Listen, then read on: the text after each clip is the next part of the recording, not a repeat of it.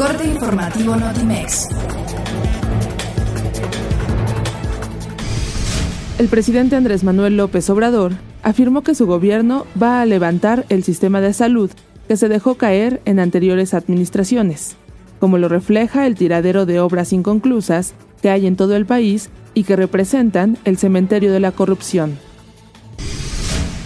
El canciller Marcelo Ebrard se reunió con la ministra de Relaciones Exteriores de El Salvador, Alexandra Gil, en el marco del lanzamiento del programa Sembrando Vida en ese país como parte del Plan de Desarrollo Integral para Centroamérica.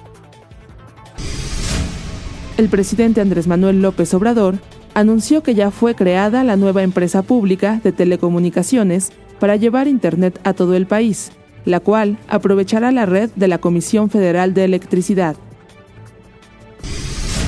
La Guardia Revolucionaria Islámica de Irán informó que su marina detuvo al buque petrolero Stena Impero, de bandera británica, en el estrecho de Hormuz por violar el derecho marítimo internacional.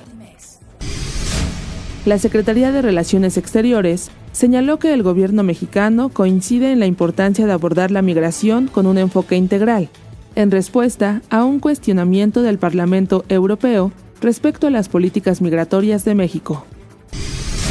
Los gobiernos de México y Estados Unidos colaboran en la recuperación de los bienes asegurados al narcotraficante Joaquín Guzmán Loera, el Chapo, luego de que el capo recibiera una sentencia a cadena perpetua dictada por la Corte de Nueva York.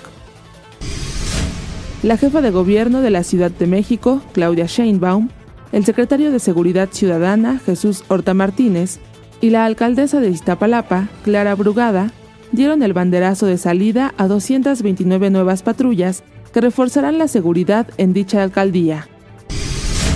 Notimex, Comunicación Global.